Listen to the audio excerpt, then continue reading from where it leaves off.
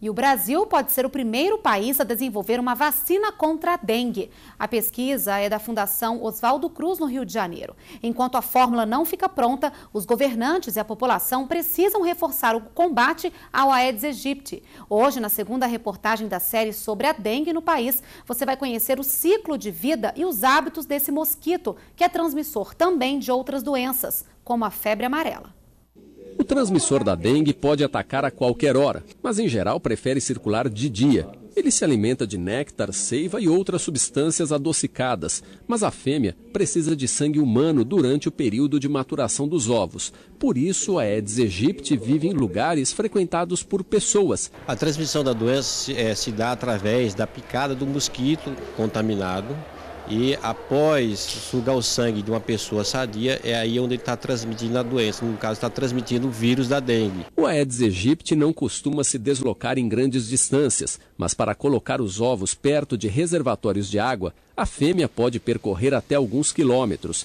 Uma única fêmea pode dar origem a 1.500 mosquitos durante a vida. Os ovos, distribuídos por diversos criadouros, são colocados em uma superfície seca. Depois do contato com a água, dão origem a larvas, que se desenvolvem até se transformar em mosquitos.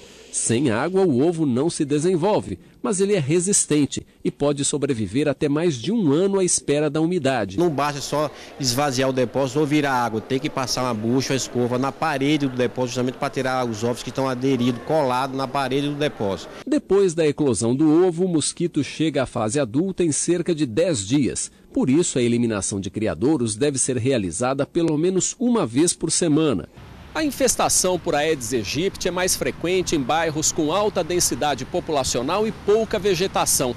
Os grandes reservatórios, como caixas d'água, tonéis e galões utilizados para armazenar água para uso doméstico, são os criadouros preferidos do inseto, mas ele também pode se reproduzir em garrafas, caixas d'água destampadas, bandejas de ar-condicionado, vasos de plantas, calhas entupidas e em qualquer outro lugar onde a água fica empoçada. A Fundação Oswaldo Cruz, no Rio de Janeiro, estuda uma vacina para a dengue que já foi testada em macacos. A vacina pode beneficiar populações em várias partes do mundo. Que mesmo que nós venhamos a ter uma vacina muito boa contra a dengue, a luta contra o mosquito, que não é uma luta fácil, ela precisa continuar. Porque esse mosquito, além de febre, além de dengue, ele pode transmitir febre amarela urbana, como foi há dois anos atrás nós tivemos um episódio que nós não tínhamos há muito tempo aqui nas Américas, no, no, no nosso país vizinho, o Paraguai. A Organização Mundial de Saúde estima que todos os anos, de 50 a 100 milhões de pessoas são infectadas pela dengue em mais de 100 países. Mas enquanto a fórmula não está disponível, autoridades de saúde alertam que o melhor remédio é a prevenção e recomendam procurar o médico nos primeiros sintomas. Febre, dor de cabeça, dor no corpo, dor das juntas. Por essa razão, caso você tenha qualquer um desses sintomas, você deve procurar imediatamente uma unidade de saúde, porque somente o profissional de saúde ah, tem condições de avaliar adequadamente o seu, ah, o seu estado e indicar o tratamento adequado. Dengue é uma doença grave que, ah, se não cuidada adequadamente, ela pode, em alguns casos, levar ao óbito.